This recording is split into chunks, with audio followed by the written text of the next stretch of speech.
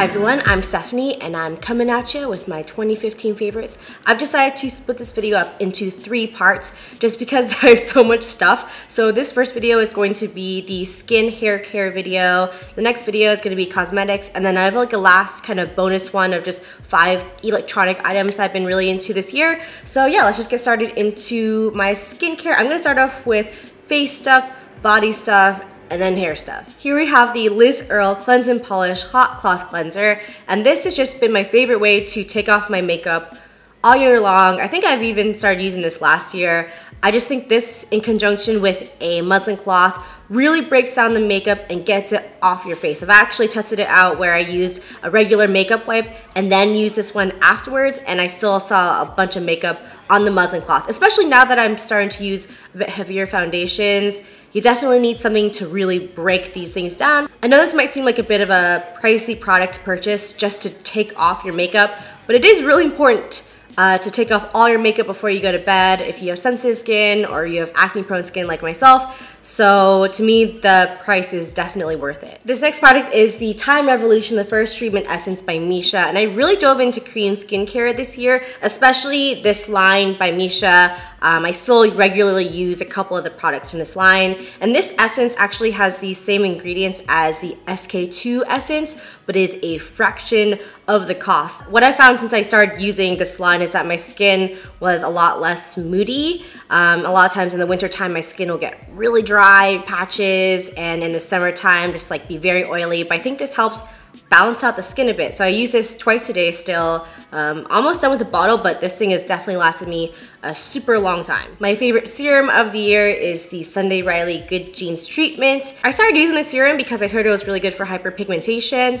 Um, at the time I was getting some really weird acne on my cheeks and on my chin. I was just kind of getting really weird spots of acne. Even after they healed, the dark spot would just be there for so long. No lie, the week that I started using this, the dark spots started fading. I think it's because it is a lactic acid treatment, so it helps break down that skin. But yeah, this stuff actually works. Honestly, if you have dark spots that you are concerned about, maybe look into this one because it really did help my skin. In the past few months, I've really been getting back into the La Roche-Posay Cicaplast Balm B5. This is a really great moisturizer. I don't know if it's supposed to be a daily moisturizer, but I use it twice a day. Um, I first started using this a few years ago because I was having some issues with some eczema on my body. And then, uh, what was it? A couple months ago, I went to Montreal and I just really wanted to find a moisturizer that was good for cold weather because my skin just tends to be very affected by different temperatures. So I started using this and my skin really got along with it. So yeah, I'm not sure if you are really supposed to use this every day on your face, but I have been. And the interesting thing about this particular moisturizer is that it has antibacterial agents. So perhaps this is also something that might have been helping me with my acne because there's a certain point after I came back from Iceland where I had no breakouts and that was just incredible because honestly, no matter what, I usually have like one or two, even just little ones or just one like big one on my face. When I came back from Iceland, I had no breakouts and ever since then, I still haven't had any breakouts. Knock on wood. It's been pretty tight because I've never experienced this before in my life. So I'm not sure if this is part of it, but could very well be part of it. Um, it is quite a thick moisturizer though if you have really oily skin, but honestly, I have found no issues with that and I will definitely continue to use it. I have two body products that I've been very committed to this year, and here I have the Alaffia Authentic African Black Soap in the Eucalyptus Tea Tree scent. That's been my favorite one, although I've used, I think, three of the other scents. They're all pretty good. I do have sensitive skin, so I have to be careful about the products that I put on my body. Like they can't have any synthetic scents or anything. I'm just really careful about that. And I've also dealt with some body acne over the years, like on my chest and on my back. And um, yeah, since I started using this, I don't have any body acne issues and I don't have any dry patches. Usually they're on like my legs. This plus the next product I'm gonna talk about, like those two together, make my bod real happy. So I'm not gonna be changing it up anytime soon. You can find this at Whole Foods, any health food store. I get mine off of drugstore.com.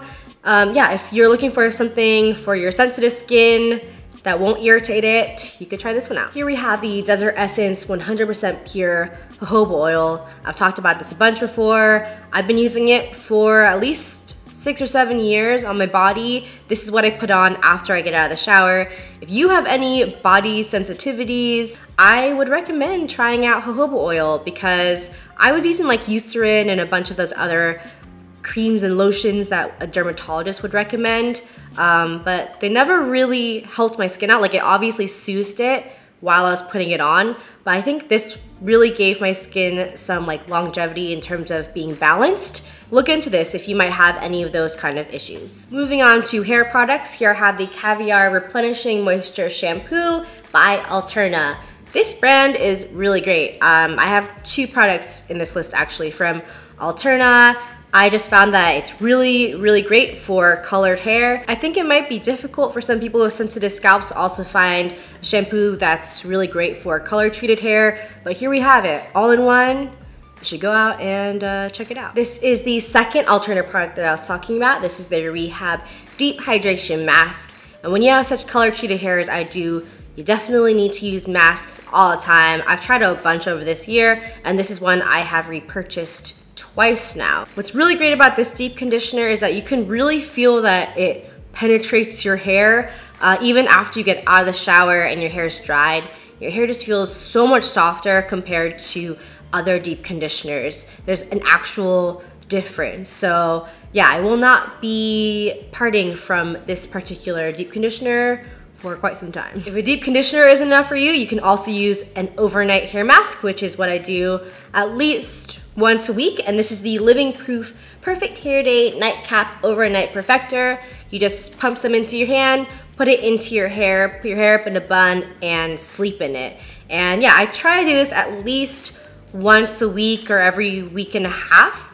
And it just really again, penetrates your hair, really conditions it. When you wash this out the next day, you can really feel the moisture has been locked into your hair again. I guess maybe I'm very sensitive to it because my hair is so dry when I feel like it is moisturized, there is a really big difference. So yeah, if you're having extremely dry hair problems, you can try this thing out. The last product in this list is a product I've been very committed to for the past few years, and this is the Bumble and Bumble Pret Powder, at least the last two years. Um, this is my favorite dry shampoo of all time, and I've tried out a lot of different dry shampoos.